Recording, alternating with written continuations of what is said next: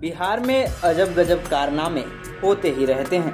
कभी प्रशासन की नाकामियों का ठीकरा चूहों पर फोड़ दिया जाता है तो कभी अपराधियों के मनोबल के आगे पुलिसिया व्यवस्था भी चरमरा जाती है।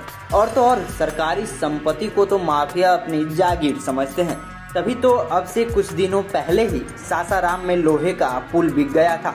समस्तीपुर मंडल में रेल का इंजन कुर्नी में स्वास्थ्य केंद्र और तो और बिहार के भूमि सुधार मंत्री राम सूरत राय के विधानसभा क्षेत्र औराई में पंचायत भवन तोड़कर उसका मलबा और ईट तक को बेच दिया गया था। और अब राजधानी पटना में सरकारी ज़मीन को भू माफिया द्वारा बेच दिए जाने का सनसनीखेज मामला सामने आया है। यह मामला दानापुर अंचल क्षेत्र का है। डीएम डॉक्टर चंद्रशेखर सिंह के आदेश पर इस मामले की जाँच कराई गई तो इसका खुलासा हुआ। जाँच अधिकारी ने सरकारी ज़मीन की रजिस्ट्री को रद्द करने की अनुशंसा की है।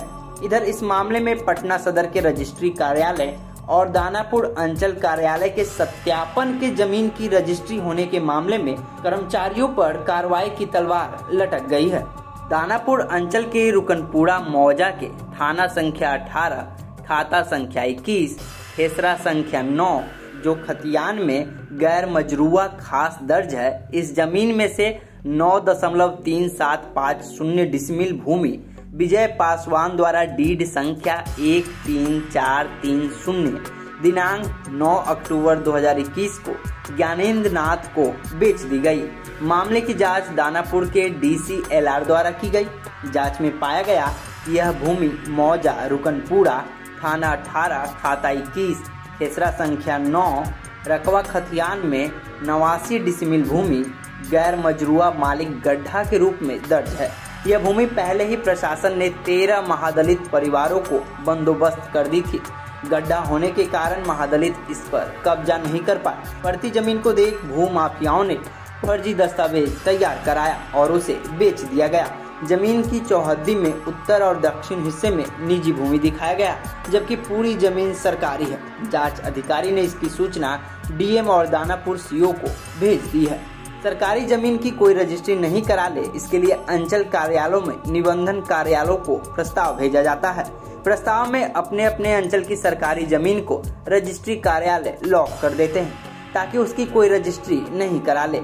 लेकिन अंचल कार्यालय और निबंधन कार्यालय के कर्मियों की अनदेखी से सरकारी भूमि की रजिस्ट्री हो गई। आपको बता दें कि हाल ही में मुजफ्फरपुर के साहेबगंज प्रखंड के जगदीशपुर पंचायत के सामुदायिक भवन और उप स्वास्थ्य केंद्र की ज़मीन बेच दी गई थी और किसी को पता भी नहीं चला। दरअसल ज़मीन उस पोते ने बेची जिसके दादा ने ज़मीन राज्यपाल को दान में दी थी। मामला सामने तब आया जब खरीदार ने ज़मीन पर अपना कब्जा जमाना शुरू किया। दरअसल, भूस्वामी रामविलास सिंह ने 8 दिसंबर उन्नीस सौ पंचानवे को खाता नंबर पचासी और दो खसरा नंबर 1303 से सात डिसमिल और बारह से तीन डिसमिल ज़मीन बिहार सरकार को दान में दे दी। दान में दी गई ज़मीन पर सामुदायिक भवन और उप स्वास्थ्य केंद्र का निर्माण हो गया। लेकिन भूस्वामी के पोते ने मोटी रकम लेकर खाता नंबर पचासी व खसरा नंबर 1303 से दो डिसमिल ज़मीन गाँव के ही हरेंद्र राय को 8 दिसंबर 2021 को रजिस्ट्री करा दी। जब खरीदार ने ज़मीन पर अपना कब्जा जमाना शुरू किया तो लोगों को शक होने लगा। ज़मीन का कागज़ निकाला गया तो दान में दी गई ज़मीन के बिक्री होने का पता चला। ऐसे में अब देखना यह है कि आखिर कब तक प्रशासन ऐसी घटनाओं पर रोक लगाने में कामयाब हो पाती है।